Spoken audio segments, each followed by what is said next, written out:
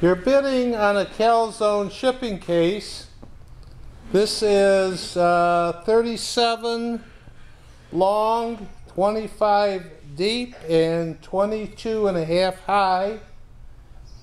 It weighs 60 pounds. This is a former government issue. Uh, pretty nice case. You can see it's got the aluminum protection all the way around. Pretty sturdy case. I'll have individual pictures too. Um, these are recessed. These recess. But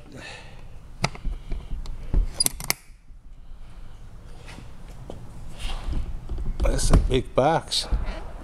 You could ship a half a house in this thing. Uh, this stuff, this stuff comes out. You're gonna reconfigure it.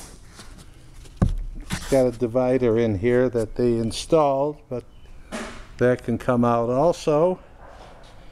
It's made very nice. You can see it's got the lip here where it fits into the ridge to keep the thing locked.